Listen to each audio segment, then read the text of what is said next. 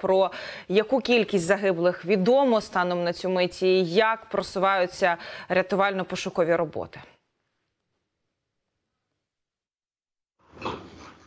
На сьогоднішню на цю годину у нас є 33 постраждалих. На жаль, одна людина загинула. Е, Серед постраждалих є троє діточок е, 7, 8 і 9 років.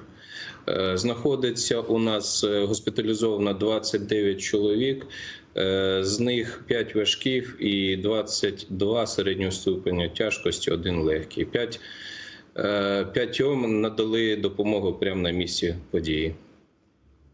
Е, Чи можемо вже зараз сказати, коли куди було потрапляння ракети? За останніми даними, це торнадо С.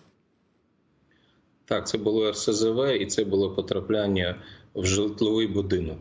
Саме в житловий. Майже постраждало два житлових будинки, бо вони знаходяться дуже рядом поруч.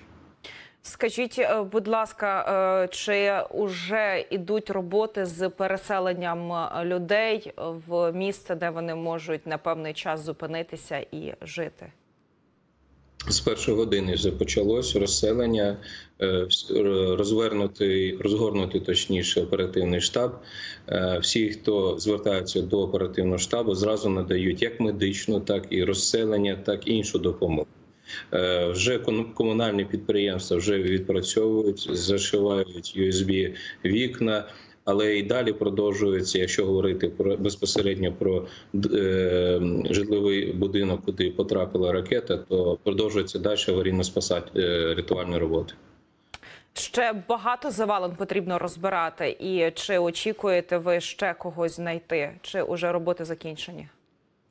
Ні, ми продовжуємо ці роботи. ДСНС на, на цю годину продовжує цю роботу і думаю, ще будемо працювати до тих пір, поки не завершимо і не розберемо завал.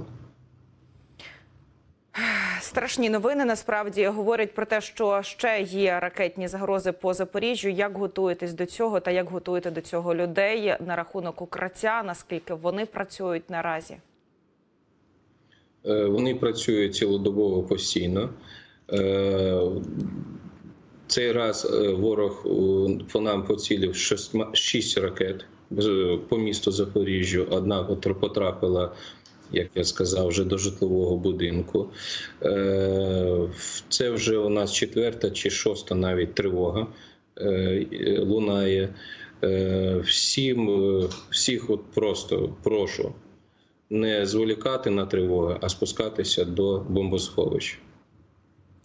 Дякуємо вам. Тримаємо, тримаємо кулачки. Сподіваємося, що якомога буде менше жертв. Телеканал Апостроф ТВ висловлює свої співпереживання, свої співчуття тим людям, які, на жаль, втратили. Як ви сказали, одна людина загинула.